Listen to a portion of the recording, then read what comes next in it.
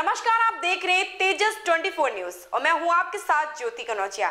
आइए रुक करते हैं खबर की ओर। लखन चौराहा पर आधार कार्ड के नाम पर अधिक पैसा लेने का युवक पर आरोप। सोशलिस्ट कॉमरेड संगठन ने थाने में की शिकायत।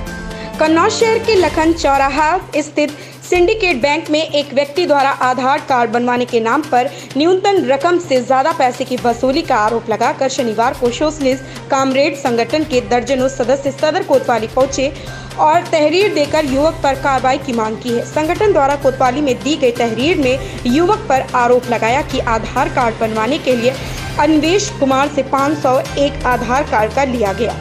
और मुलायम यादव से 500 लिया गया मोहम्मद आसिम की पत्नी के साथ उक्त व्यक्ति द्वारा दुर्व्यवहार किया गया। सोशलिस्ट कामरेड संगठन के सदस्यों ने कहा कि लोगों के साथ उक्त युवक द्वारा की जा रही कि जो कि कतई बर्दाश्त योग्य नहीं है। इस मामले पर उचित कार्रवाई कर निष्पक्षता से आधार कार्ड बनवाने की प्रक्रिया प्रारंभ कराए जाने की मांग की है। क्या नाम है आपका? जी अनवेश कुमार। अभी यहाँ पे करीब दर्जनों लोग आप लोग आए हो कोतवाली में।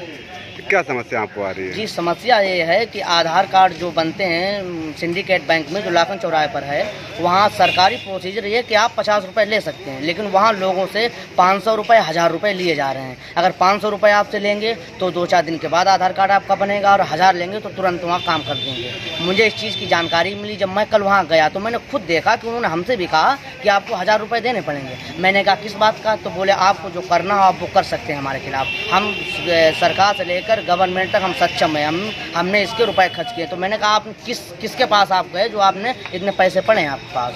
फिर वो चले गए वहाँ से, फिर गरीब बच्चे और महिलाएँ बैठी थी, मैंने उनसे संपर्क किया तो उन्होंने हमसे कहा, भैया जी, हमने पाँच पाँच सौ रुपये दिए, आज एक सप्ताह हो गया, मुझे, मैं यहाँ दौड़ दौड़ कर आ रही हूँ। मुझे भूख लगी मेरे पास इतने पैसे तक नहीं है कि मैं कुछ खा भी सकूँ। वहीं के पास में एक मिठाई की दुकान है, वो मेरे मित्र हैं, मैंने उनसे कहा, मैं पैसे आपको बाद में दूँगा। समोसा, जलेबी, जितनी मेरी था, स्थिति थी, मैंने उनको सबको लेकर खिलाई वो सब लोग रो रहे थे। तो जो आप लोग इतनी तादाद में इकट्ठा होकर आए हैं क्या आपका कोई कोई संगठन है क्या? जी सोशल कामरेड मेरा एक संगठन है।